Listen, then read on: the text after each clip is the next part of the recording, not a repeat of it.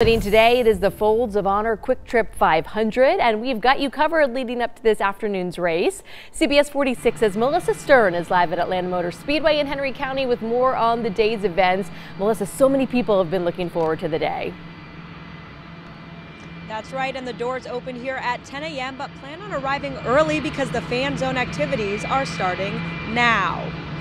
Today is day three of NASCAR action, and you can catch cars whizzing past you at more than 195 miles per hour here.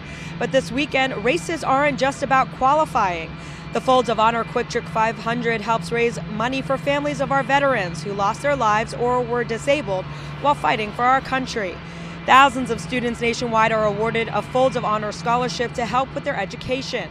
The goal is to provide education for spouses and children who were killed or disabled defending our freedoms. So far this year, about 4,000 scholarships have been awarded for a value of about $22 million. 1.2 million went to recipients right here in Metro Atlanta. Today, the organization is partnering with NASCAR and QuikTrip to host the Folds of Honor 500. It is about building awareness on behalf of nearly 2 million dependents who've had someone killed or disabled just in Iraq and Afghanistan.